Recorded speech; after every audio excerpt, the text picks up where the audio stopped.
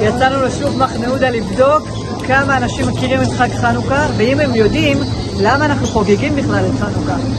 בואו איתי. בצחוק את היוונים בעיקר. נמצא לבית המקדש. ברור שכשאני מדליק חנוכיה, ישר זורק אותי אחורה על המלחמה, על קדושת המקדש. ולדבר עם עוד אנשים, לפרסם את הנס הזה, את הדבר הגדול ושייך לו בירושלים. יש קשר בין חנוכה להר הבית? חנוכה להר הבית? אני לא חושב שיש קשר.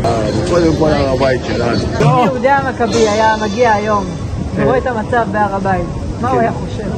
הוא לא היה אומר, הוא היה עושה. לחכות שיגיע משיח. אתה בעד שידליקו מחדש את המנורה בהר הבית? בטח, ודאי. בהר הבית צריך לעלות בלי חשש מערבים. פה אני מוכן לבוא ראשון. זה לא, אנחנו לא גרים בגלות, ברוך השם אנחנו בארץ ישראל, כבר התחיל איזשהו תהליך של גאולה. זה מה, יהודה המכבי. יהודה המכבי היה מחכה כמו תת-הלך, כמו תת-הלך היה מחכה כמו כולנו, ולא עושה שום פרובוקציות ושום שטויות בעיני המצלמה.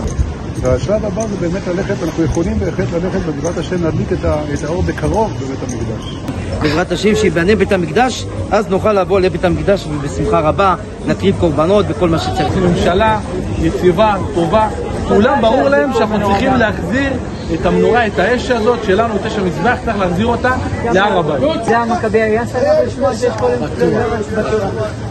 ויחד עם ישיבת הר הבית, אני מקווה שעוד ועוד אנשים יצטרפו לדבר הזה, כמובן בבושה ובטהרה.